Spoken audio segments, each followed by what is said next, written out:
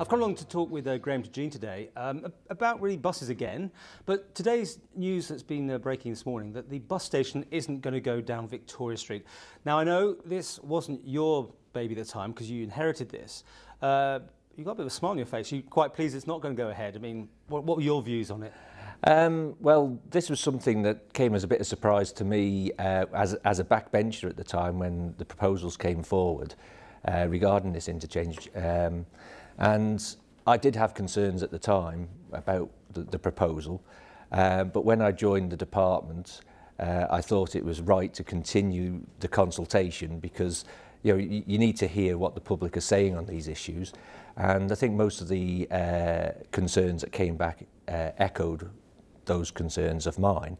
And I think we've made the decision now that it's probably not the best place to put uh, an interchange. It may be a good place to put uh, a few more bus stops so you can pick passengers up.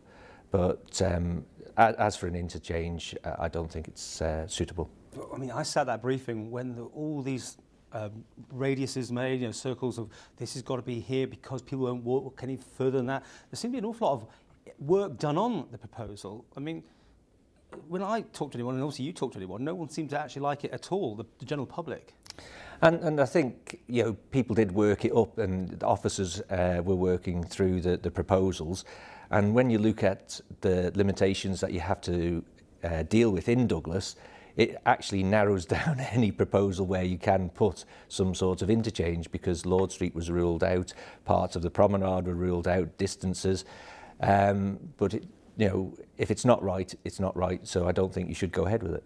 Well, we're looking at some old pictures of the original, well, the, uh, the, the 60s bus station. People have fond memories of it now, but obviously it, it, it pulled down a long, long time ago. I mean, isn't it going to just end up back there at some point? Isn't that really, the end of the day, where the bus station has to go? Well, I think there's, there's a number of proposals for that site at the moment. Um, we have to see how they develop. Um, but it all depends on, on the proposals and how they go forward to what we actually do. You know, we could actually start looking at enhancing the proposals there if something on that site doesn't come forward for, a, a, you know, a short time. I mean, you must ask questions within your department why that was pushed so heavily when I mean, you didn't like it. A lot of people, as you said, didn't like it. I mean, it must have cost a bit of money to come up with that proposal and to draw the plans up, which seemed to be a, a, a no-show from the start. I mean, do you have faith in, in your officers that did this? Well, it was there was a, it was not just through um, my department. This was through um, uh, DOI and uh, through I think it was the Douglas uh, Development Partnership to, to, to, to look at these areas, and you know it was their proposals. And if you don't look at it and, and work up a scheme, you know some of the businesses may have ag agreed with it, and the public may have agreed with it.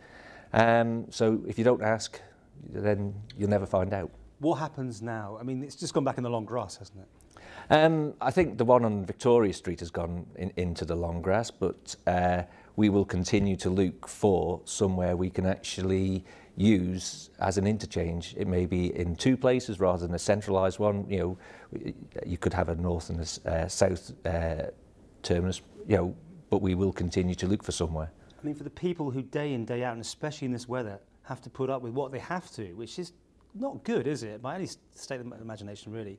The, you know, with the wind blowing along the promenade and that sort of thing. What do you say to people like that who have got to put up with this second-rate service of a bus shelter at the minute?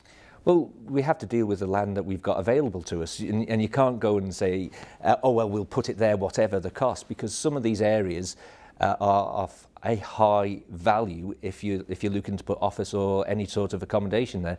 And uh, we are continuing to look at places to, to position the interchange. So when will you and me sit down and be talking about the next scheme? Well, I think uh, we've got to work through our current bus timetable.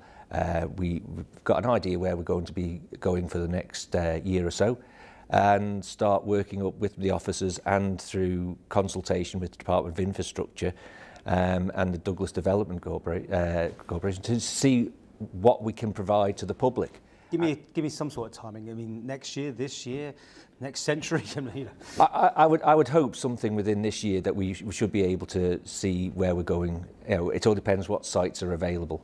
You know, uh, we're very much aware that budgets are being uh, reduced, that, that the money's not there.